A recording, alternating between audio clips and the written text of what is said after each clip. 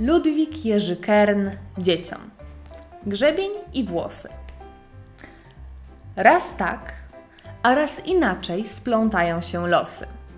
Kiedyś na pewien grzebień skarżyły się włosy, że zębów jest w nim mało, a włosów jest dużo, że czesze nie najlepiej, że w trakcie czesania ma wyraźną tendencję do włosów łamania, że jest zbyt delikatny na czuprynę chwacką, że traktować go trzeba bez mała, jak cacko, że choć z twardej na pozór zrobiony jest kości, to jednak jest przykładem ziemskiej nietrwałości.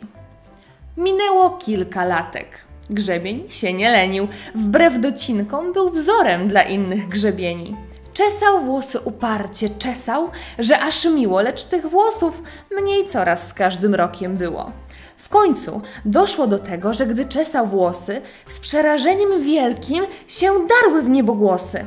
Że taki brutal z niego, że nie ma sumienia, że okrutne stworzenie jest z tego grzebienia że w ten sposób to można postępować w grzywach, że za każdym cześnięciem pęk włosów wyrywa, że tak mocno o włosy uderza i wali, że nie z kości jest chyba, ale z twardej stali.